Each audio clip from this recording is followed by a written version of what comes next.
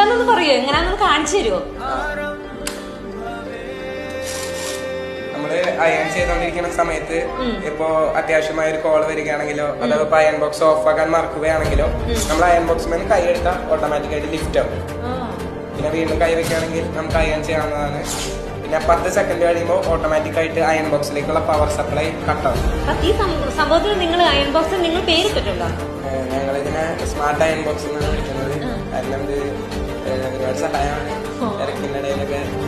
box of ആക്കി മറക്കുന്നത് സ്മാർട്ടായിട്ട്